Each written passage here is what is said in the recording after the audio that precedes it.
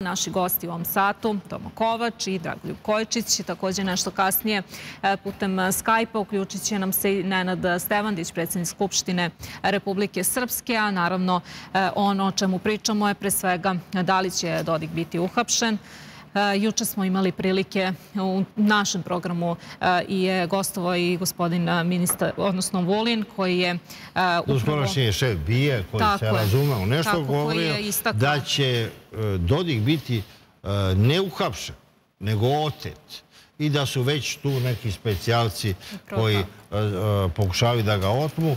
Govorio se to i pre dve, tri godine kad su počeli neki sudski procesi, da su došli neki sasovci e, koji će da otmu Dodika i tad su pojačane mere bezbedne. Sjećamo se da su okopna vozila stala ispred predsjedništva u Banja Uci i tad se govorilo, pa i sad kad je e, bila ova proslava Dana Republike e, Srpske, kad su uzleteli F-16 avioni, pa su se onda vratili. Tomu je to moguće da se otme predsjednik Republike Srpske? Da... Oni mogu oteti koga god hoćete, mislim, vladaju među nebom. Čekaj, prvo oni imaju trupe znači, na teritoriji Republike Srpske. A Dodik se kreće po Evropi, svugdje se kreće, a kako hoće da ga otmu, moje pitanje, da ga otmu šta namjeravaju sad. Međutim, ovdje je drugi proces. Evo, od juče do današnjeg dana se već neke stvari, jedan proces intenzivno ide. Ovaj, Šmit je donio već ovu odluku o izbornom zakonu. Na izgled, znaš, ja slušam, analiziram, kaže, ja kaže Šmit, znači koji je tamo šta je drugo nego onaj imperator što kažu u ime, u ime koga, ovaj, kojeg poredke svega ovaj, i oni nameće zakone ja mislim u svijetu nema nekoliko suverena koji to mogu da urade ovaj, da, da se mogu tako zakoni ovaj, nametati. Kaže, ja imam dogovor s narodom bosanskim, kao s narodima, da donese izborni zakon ime ti naroda. Mislim, to je, e, to je najveća, to je apsolutno, to je Bosna.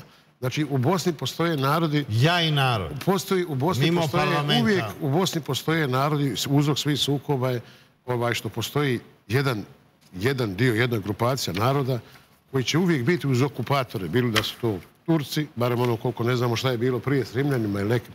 Bilo da su Turci, bilo da su Austrugari, bilo da su Njemci i danas imamo nazovimo, ja to zovem NATO pakt i ja to zovem malo preteško, ali četvrti rajh. Evo, svim pokazatelji daju da je to ipak četvrti rajh. Kad je pitanje NATO pakt, ne, neću Evropskoj uniji da pričam, već NATO pakt. I on je donio zakon, nametno zakon. Šta je na izgled sve to neka šarana laža, demokratičnost, međutim tamo stoje neke tačke gdje kaže se ukoliko neko ovaj, pravosnažno ima, ima presudu, automatski, što ne, treba da reguliše izborni zakon, automatski bude smijenjen sa ti izbornih funkcija. To se odnosi na Dodika. Dobro, tu i Dodika. Čekaj, dva predsjednika Republike Srpske su smijenjena. Dva člana predsjedništva u ime srpskog naroda e, tu su bili i Šarović i Momčio Krajišnik. Znamo koliko je ministara smenjeno. Oni su nas na listi, ja sam na toj listi od 160 nas su stavili na listu, što je bilo funkcionera, učesnika rata. Što sad još donijeli? Čekaj, sude i tebi za genocid. A vidi, znaš kako je to kod mene. Ja sam prvi to istraživao. I Hag me potpuno onaj, od toga, onda su došli od mene da su petorca ljudi... Dobro, ljudi ne znaju da si ti dobio zadatak od Jovice Stanišića. Od Miloševića. I Miloševića. Da utvrdite šta je bilo u Srebrenici. Jer su Amerikanci zapretili da će otkazati Dayton ako se ne utvrdi e, ne utvrde činjenice oko... Nije moglo se održi Dayton, mislim. Oko... Ti si e, poslao ekipu da sa svedocima se utvrdio čemu se radi. Ja sam direktno obavio razgovore od Salapure do do ne znam, bi u učesnicima, u svemu tome, svi su bili tu i onda je bila jedna zapanjujuća stvar. Zločin na ratnim zarobljenicima se desio. A šta se desilo prvi put što je Vojo i radikali podržali mene, u tome sad Voja malo terira. Voja bi sad da malo kako je stariji, on za njega ništa ne, više nema želje ne se s komunistima tuče i sve bi on ravno, a šta će to godine valjda tako dođu. Ovo, ja ga mogu razumjeti. Što smo mi tada utvrdili da nikakav nikakva politika srpska, ni s lijeve strane, ni s desne strane Drine, nikakva vlast srpska, ni s lijeve, ni s desne strane, već ko je uradio? Uradili ultrakomunisti i uradili špijuni i Cije i Hrvatske ovaj, u, vojno-bezbjednostnim strukturama i to je potpuno jasno kod dan da su to, da su to uradili kad smo to onaj, znači Ljubomir Bejar. Ljubomir Bejara je čovjek koji je išao da izazove rat dole Herceg Novom, on je pobio četnike, on je trojicu komadanata četnički po zadatku Hrvatske službe. Ljubomir Bera je osnovu sa Račanom onu stranku onaj, on je u toj te lijeve stranke. bezbednosti na Brionima. Bio je da, u Lori, poslije tam u, Splitu, pa je dole bio onaj, bio pred, mislim, dobro je to posjetiti kad pričam baš oko tog. Onaj, on je dole bio šef, šef organa bezbednosti kad se premisla komanda ovaj, ove flote u Meljine i on je bio na čelu toga. I on je napravio dole sukob, on ga je organizovao da dođe do sukoba, napravio zasjedu i pobio, tad su bile te vojske na Dubrovačko ratnište, jedni su nosili kokad, jedno, znači to je procesi birali su išli svi na ratište. I on je sa aktivnom vojskom dočekao, ubio trojicu komandanata, od kao ono, jedan je Šešeljev, ili su dvojica Šešeljev, ona je ubio trojicu komandanata, zapali se taj pic gaure, onda je kako je vatra prenešena, vojska mlada, bila prenjena vatru jedan na drugi, i onda su optužili da su oni napali, ta crnogorska udba stala na stranu njegovu, međutim, ovaj grupa, jedan ozbiljan oficir, koji nije bio povezan direktno, što znam, bio su tim struktura, pa znam kako je to funkcionalno, gledao sam taj izvještaj, gdje su to jasno i zatvore Bearu, i u zatvor. Desetni mladić imao taj neki odnos, a i on je imao u sebi veliki patriot, ali to u komunjarskoj u njima, ja to nikad ne mogu, nek mi neko ne zamjeri, ja sam bio član Savjeza komunista, ali ta linija, čudo, izvuče ga iz zatvora, dovede ga za šefa bezbjednosti. I on kao šef bezbjednosti je, oni su napravili taj prema ratnim zarobljenicima, evo sto puta reći da zna srpski narod, da nisu četnici, da nije nikakva prosrpska linija, da nije Milošević, nije sve. Već jedna ultrakomunistička unutar vojska, jedna ultrakomunistička špijunska garnitura, ovaj radio za Hrvate, Salapura Cin, saradnik, on, Cin, saradnik koji je bio, kaže, prvo ruski, jer ga držali iz Kijeva kad su u Ameri preuzeli gore Kijev, onda su uzeli svu tu strukturu, jer je gore bio centar i čovjek je radio cijelo vrijeme i kako se on... On čak šta više meni na kraju ponudio poslije zločina u Srebrenici, aj kaže da ovo sve zataškamo da pobijemo i Mladića, evo je sve, kaže Gonjić nas posajemo i pobiti svi. On meni došao, ja znam šta je. Da pobijete Mladića. Pobijemo sve tu, svu tu strukturu da i pobijemo jer vidiš to šta su radili. On učestvo u tom, njegova jedinica streljala i sve. I on se izvuk, kako njegov... To je deset diverzanski to je njegov bio. Njegova jedinica učila streljati, protiv njega niko nije podnio nikakvu. Jer čujem da je bolestan i ko zna kako sam ja za vrijeme Vreme ona je da srpskom narodu kažemo sve što je što. I sa današnjim danom, sa svim ovim pričama, da mi otvorimo srpskom narodu šta se to kod nas, šta se to kod... Mi smo u ozbiljnim procesima, s nama se igraju. Kao što su ovo napravili u Moskvi, nisam bio kod tebe za tu, ovo što se desilo u Moskvi. Tako, tako sad nama pravi. Zamislite, kaže, svi Amerikanci kažu, ok, imam ja među njima i ovakvi inakvi velja izdržati do Trumpa. Mislim to, ta banda. I kažu, bit će rat u Bosni. Znaš, mi mislimo da će neki da zazovu. A oni ga kreiraju. Mislim, oni, oni te procese vode. Kako vode? Pa ovaj Schmidt, ova, ovaj, ova bitanka koga ne znam, ja nikad nisam rekao, kažem, Vučiću, nemojte ga primati u Srbiji, nemojte mu dati legitimite, nema veze tamo da ga šamarate, nemojte, ne dajte mu preko granice pređe, jer on je učesnik, on je juče donio odluku izbornom zakon, Srbi će danas na skupštini, to vidjet ćete sa Sevanićem odbiti. I ti procesi idu, oni nas guraju u proces nelegalnosti, on izaziva te negativne prosjede se ruši. E, mi nemamo odnos, meni neka sramota iško da kaže, kaže nekad meni, odnosno muslimane, kad se sretnemo mi, mi jedinstvena je priča Srbi, pravoslavci, muslimani, pojedinačno, nemamo loše odnose, ne mrzimo se. Oni nama politički prave cijelo vrijeme od preko Ali Begovića, mladi muslimana, te ideologije koju Britanci koji su držali, pa do današnjeg dana što rade, oni nas, oni nas politički onaj, stavljaju razdvajaju i. Mi lično, znači to je specifična stvar. Mi lično, među nama, lično, između nas, kao ljudi, i jedni druge pošto mi kažem, to su dobri ljudi. Međutim, politički nas vrstavaju da se poubijemo, pokoljimo, kao što i u Ukrajini. Što bi se Rusi to ukli, sve to Rusi između sebe da nisu politički nisu politički podijeljeni pa se ubijaju do, do e, kad, je pala, kad je pala Avdijevka pre mjesec i više, i Rusu zarobili e, jednu ukrajinsku jedinicu i tražili su da se predaju. A oni su im odgovorili jer Rusi se ne predaju. To je vic, ali to se zaista desilo. Ali ti u srpskom slučaju postoji jedan istorijski primjer. Znači, pošto su uh, Austrougarska kad je napala Srbiju u Cerskoj bici, onda postoji ta priča da su naravno bili mobilisani neki, neki Srbi da ratuju za Austrougarsku. A onda su ovi naši s ove strane, Srbijanci, da tako kažem, vikali, kaže, predajte se aman za aman, a ovi kažu istu tu rečenicu, mi smo Srbi, mi se ne predajemo. Ali moram nešto samo da kažem, pre, nego što mi postaviš pitanje, meni lično. E, dve, stvari su me impresionirale kod tome malo. Jedna prvo, on je bolje opisao situaciju i to vreme, to razdoblje, nego Filip Višnić što bi uradio. Svaka ti čast. Po dva. Potpuno si u pravu, brate moj. Mi moramo da stanemo jedan puta na kamen istine, da raščestimo... Ovo je bilo, to je ključ. ovo nije. nije bilo, ovo nam je spakovao komunizam, ovo su nam spakovali spoljni neprijatelji, ovo su unutrašnji... Špijuni, ovi, oni... Sve si rekao, znaš šta, eto, pravo ti kažem, ne sjećam se nekada ni u privatnim diskusijama da sam čuo ovako iznesene otvorene karte na sto kao sada, a pogotovo, e sad moram da kažem, i, i Milomir je... Samo Marić u meni može e, proizvesti. Da, e, kod njega to može da se kaže. To, to Isto, Ali evo ovde, na, najavljuje se da će podnom godišnjice Srebrenice e, da e,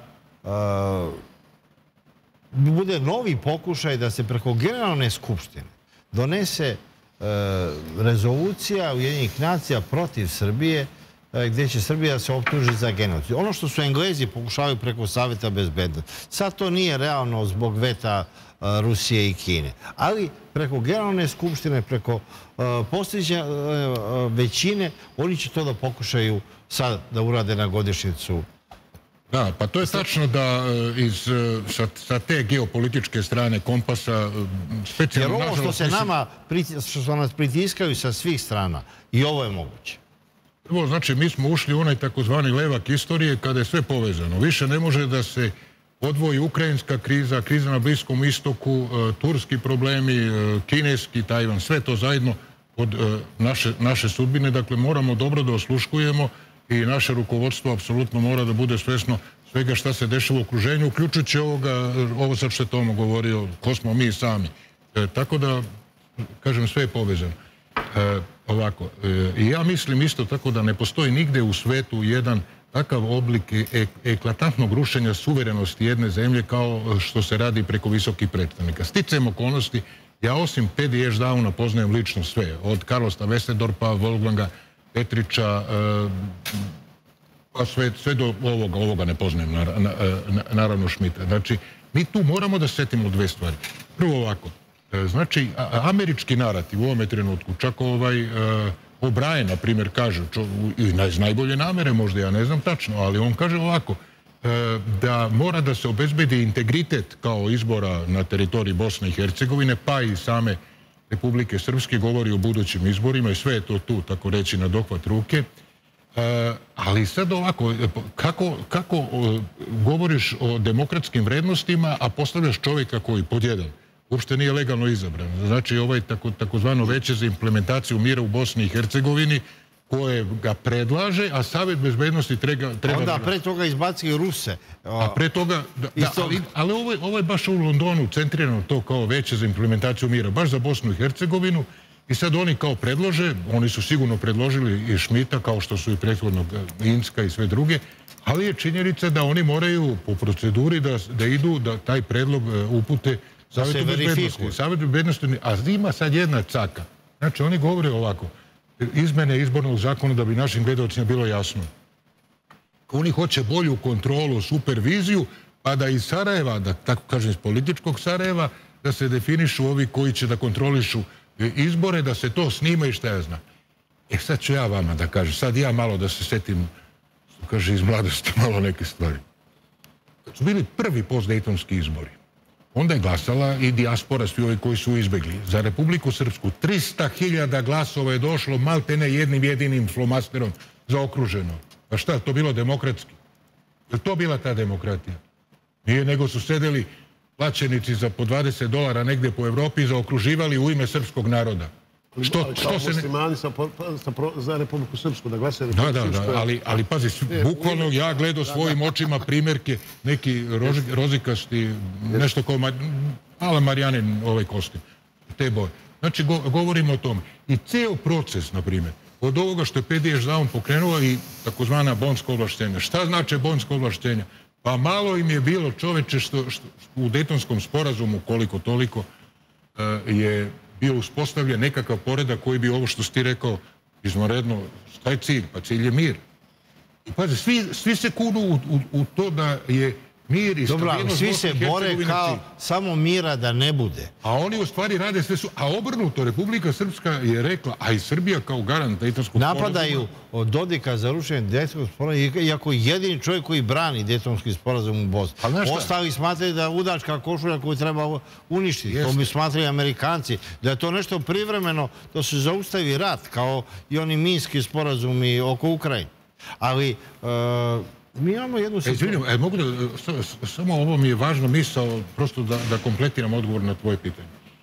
E, mogu oni da izmišljaju, da menjaju predsjednike, ali svi predsjednici Republike Srpske, čak i ako su možda imali, postojale neke razlike kod njih. Pa nije ni Dodik baš krenuo sa ovih današnjih pozicija. Da. Ja sam bio prisutan i na skupštini kada je izabran i tako, sam Biljanom Plašom.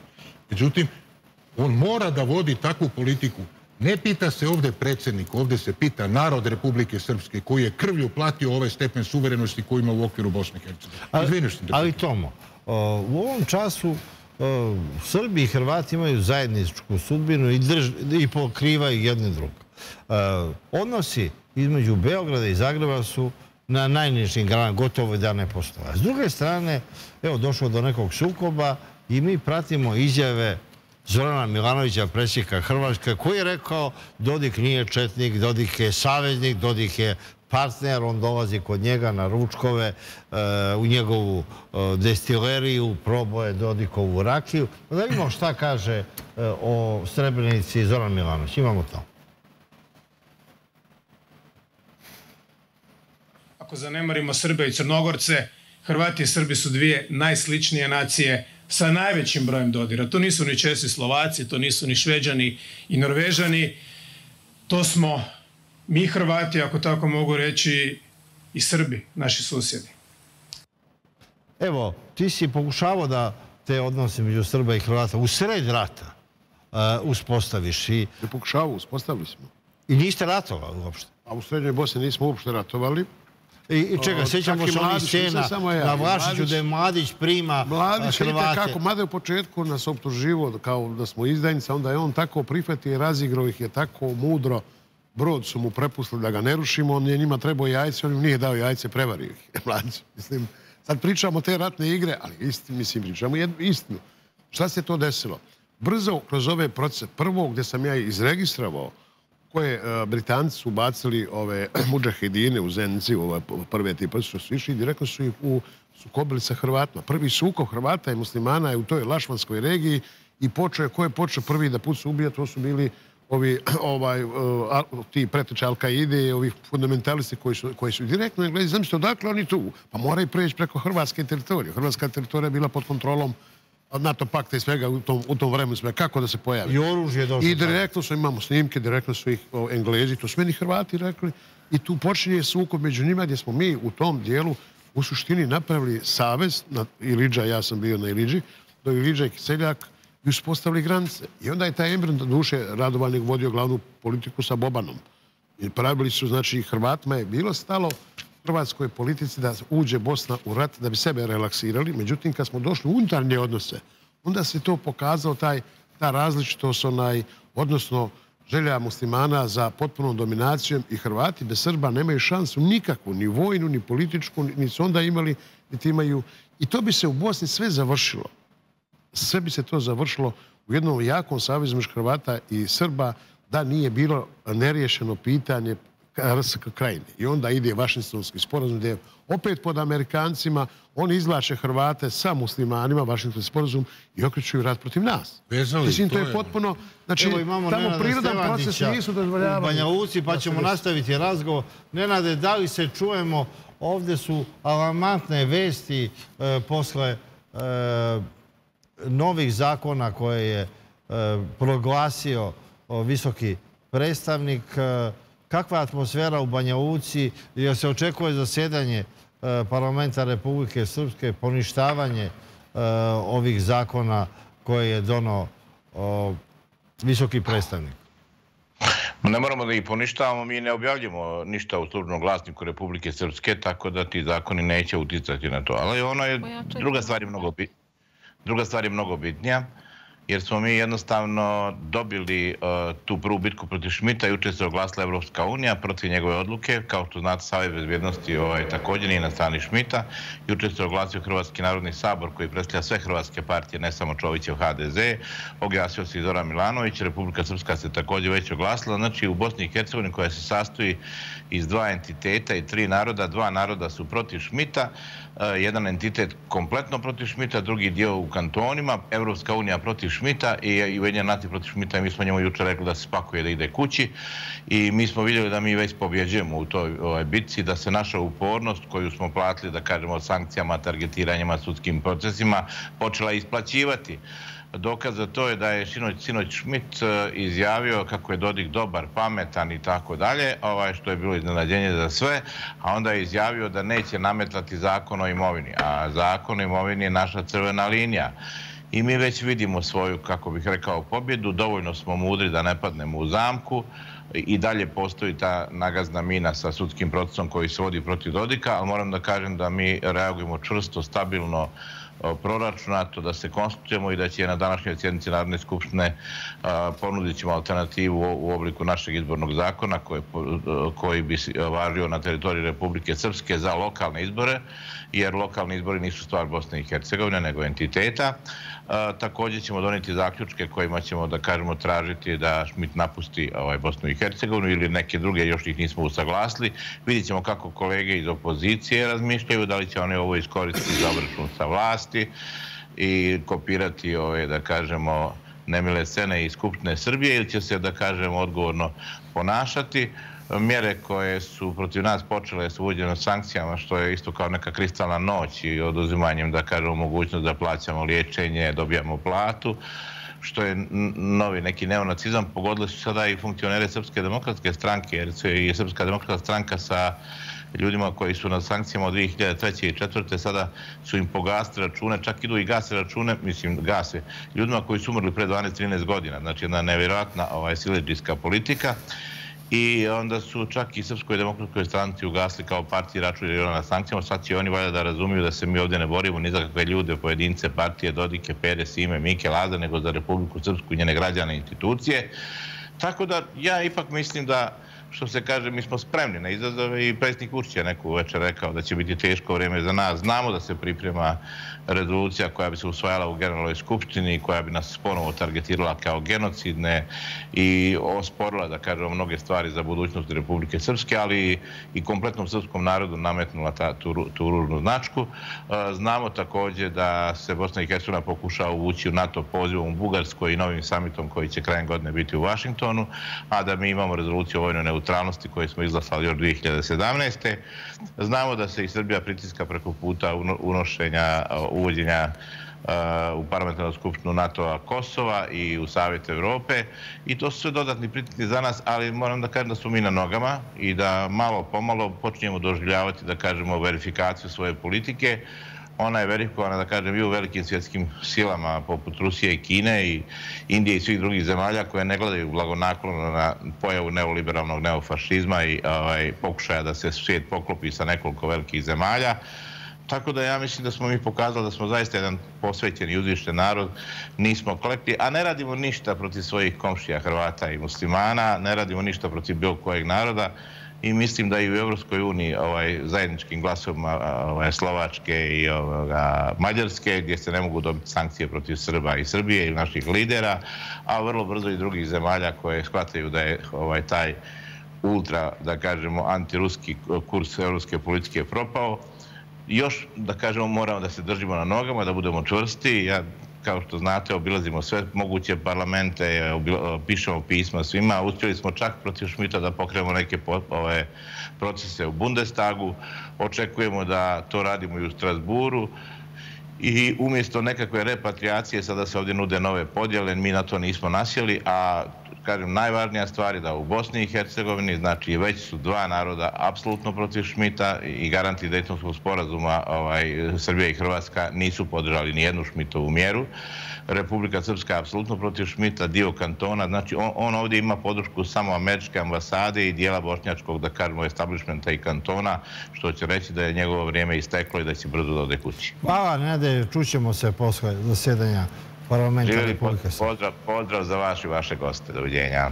Tomo, očigledno da Srbi i Hrvati su našli neki zajednički interes. Evo, vidi se I to je ostalo još uvijek. Znate kako, Bosna kako je skrojena? Ovaj, odakle su to, kako su... Znači, jedan narod je ovaj, e, malo, najbolje to je Kmečić, onaj, on je nama najbolji ideolog bio i razjasnio, džaba nama naše škole, on je bio u savjetu SDS-a i imao sam tu priliku i čast da noć provodim sa njim sadom, u toj njegovom objašnjavanju ovaj, šta je to, šta nam se, šta je to Bosna. I tamo imate jedan, imate narod, jedan koji je iz ekonomskih razloga povlašten, znači koji su zvali muslimani ekonomiju pita. Iza toga dolaze Austro-Ugarska koja koja opet igra dijelom sa njima, dijelom sa ovim hrvatskim dijelom, znači opet je onaj, I NDH igra, igra s njima, i, komunisti igraju s njima. I, mi imamo, znači, mi imamo tamo takav, takav sklop, taj odnos, takvu uvijek, sve mi možemo imati lijeve, desne politike, ali kad je došao moment 92. godine, ko je na kojoj strani, znači svi, su, smo mi, svi na, svako je otišao na svoju stranu, znači u, tom, u tim procesima i mi i danas oni nas dobro poznaju, niko nas bolje ne poznaje od Austrugara, od te njihove politike Nijemaca, naravno poslije dolazi na Britanci.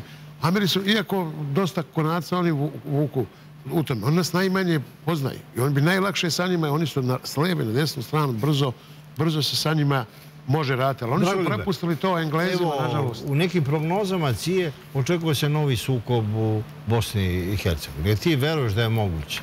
A evo da kažemo i gospodin Stevandić je žurio pa nismo uspeli da dobijemo njegov komentar, ali Sanja Vulić je izjavila da se sprema atentat na e, Dodika, ni otmica nije isključena i da Sarajevo svakako nije bezbedno mesto za predsjednika Republike Srpske. E, kome smeta Dodik? Prvo da ste me pitali ovo što je Milomir pitao, pre dve, tri godine bih rekao, ma ne, sve je to izvesno da će biti jedna mirna trasa, miran put. Međutim, mi smo e, zašli u takvo razdoblje gdje je sada sve moguće. Dakle, više ništa nije nemoguće u, tome I ništa nas ne bi iznenadilo. Apsolutno. Tako da e, treba, e, biti spreman, ali ima jedna, stvar tu ovo što kome, kome smeta Dodik. Ne smeta Dodik, nego smeta srpski narod. Dodik samo govori ono što su organske želje srpskog naroda. Čekajte ovako, kako to svima se e, dozvoljava da govore o nekakvim svojim svetovima, o svome političkom jedinstvu, Hrvatska čak i da očisti Srbe, da dobije ideal etnički čiste države, Srbi spali sa 48% od pre rata na 3,5% i to sve gleda kroz prste. Kad mi govorimo o tome, imamo sve već udruženi zločinski A, a nama su mogli da obezbede tu vrstu kulturnog jedinstva samo ovako, po dva uslova. Da su nas primili na vreme u Europsku uniju, mi bi eto, čutali, bili bi privrženi kao toj Europskoj uniji, kao jednostavno njen deo, mi bi živjeli u istom kulturnom, pravnom i političkom prostoru. S druge strane, znaš šta je nemoguće?